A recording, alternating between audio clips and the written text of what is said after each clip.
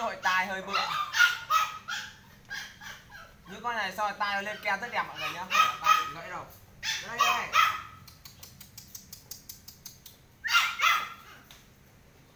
Các vợ có anh em là cứ hỏi thì nhỉ?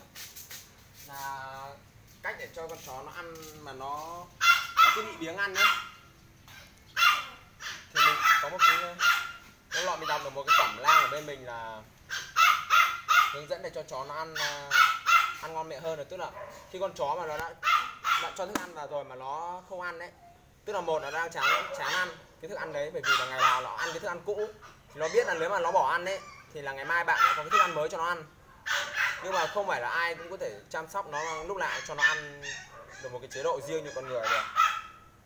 Thì có cái phương pháp là bây giờ chó nó không ăn thì chỉ để ở cái bát ăn cho nó đúng 15 phút, nếu nó không ăn hết thì bỏ ra luôn, cho nó đói đến buổi chiều lại cho nó ăn như thế đúng 15 phút nếu nó không ăn đấy.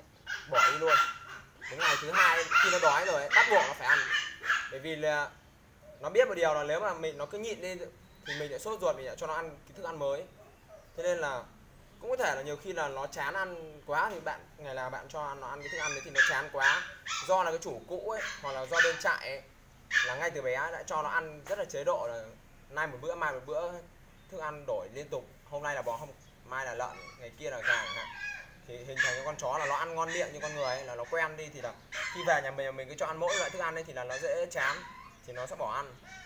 Nếu mà cái trường hợp nó không bị cái bệnh gì cả thì chắc chắn nó đang chán cái thức ăn đấy rồi. Thì mình cứ để đến đúng 15 phút nếu nó không ăn là bỏ đi ngay. Gần ngày mai nó sẽ biết một điều nếu mà không nó không ăn ấy, nó không ăn nhanh ấy thì hôm ngày hôm đấy nó phải nhịn.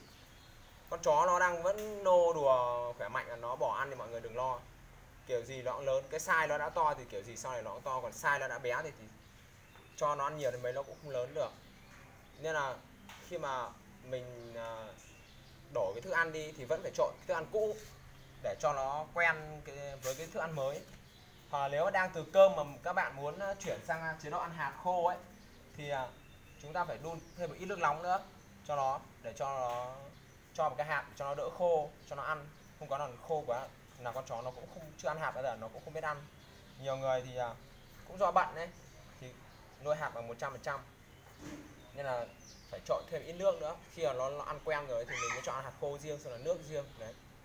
Thực ra thì con chó nó phải như mình nghĩ là phải ăn cơm nước đầy đủ như con người ấy, thì nó mới tốt hơn. Con con chó ngày nào tháng nào cho nó ăn mỗi một cái loại hạt đấy thì nó cũng rất là chán. Như kiểu mình bây giờ ngày nào bắt ăn mì tôm mình chán lắm thức ăn à ăn cơm ấy kiểu nó được ăn cái thức ăn cùng con người ấy, thì là ngày nào nó cũng đổi bữa thì là con chó nó rất là phát triển nha mọi người nhé. Nói chung là mình cũng không biết là phát triển này không không phải là phát triển bằng cám đâu nhưng mà như thế cảm giác như con chó nó sẽ được thưởng thức món ăn hơn. Đấy. cuộc sống nó cũng vui vẻ hơn đấy tức là nó được ăn thức ăn nhiều loại thức ăn khác nhau. Nó như con người được thưởng thức nay đi biển nay đi quất lâm mai đi hải phòng ăn cơm ăn ghẹ cũng là con tôm con ghẹ mà ăn nhiều nơi nó còn vui. À nó còn khác nhau, chả là nay ăn tôm mai ăn bò, ngày kia ăn lợn, thay đổi thì khẩu vị đi thì nó, cuộc sống nó phấn khởi. Chứ bây giờ ngày nào bắt nó ăn mỗi cái loại cám đấy thì nó tội ra. Đấy. hoặc là ăn cám nhưng mà thi thoảng mình vẫn cho nó ăn ít cổ gà này, hoặc là cho nó ăn thịt bò tươi này, hoặc là cho nó ăn xương lợn thứ để cho nó thay đổi. Bữa ăn đi tí chứ còn là thêm rau, thêm riết cho nó ăn cho nó nó thích mọi người ạ chứ đừng bắt nó ăn nguyên hạt cả đời đấy nó ấy lắm mà ăn hạt thì cái răng của nó rất là bị uh, hay bị rắt vào nó rất cũng hay bị sâu răng như con người nha mọi người nhé mọi người cảm giác như bây giờ mình ăn lương khô ấy lúc nào răng mình rất là dính đúng không? Nhưng mà ví dụ như bạn ăn cơm thì răng bạn không bao giờ dính nhá. Những con chó là mà ăn hạt nhá thì nó rất hay bị sâu răng như người luôn. Nên là nếu mà nó ăn hạt đấy thì mọi người phải vứt vào một cục xương cho nó hoặc là thường xuyên cho nó đi chơi xong là cho nó cắn đồ này, đồ kia, cho nó cắn kiểu là cắn quả bóng này, bóng kia ấy. có cái loại bóng mà cho nó ăn để cho sạch răng mọi người. Đấy. Còn là mua cái cái da trâu về cho nó ăn, nó sạch răng. Chứ ăn hạt không là nó nó rất là bị sâu răng, mọi người ạ. Ăn hạt thì công nhận là màu lông nó rất là đẹp. Tốt nhất là lên kết hợp cả hạt cả cơm, đừng cho ăn quyên gì cả. Nhanh đi ra ngoài đi. Mày vào đây mà cắn đi.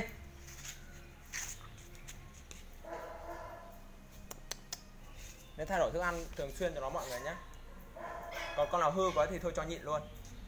Nhớ một điều là con nào biếng ăn thì à, cho thêm ăn men tiêu hóa với cả là để bát đấy ăn 15 phút mà không ăn hết đấy vứt đi luôn.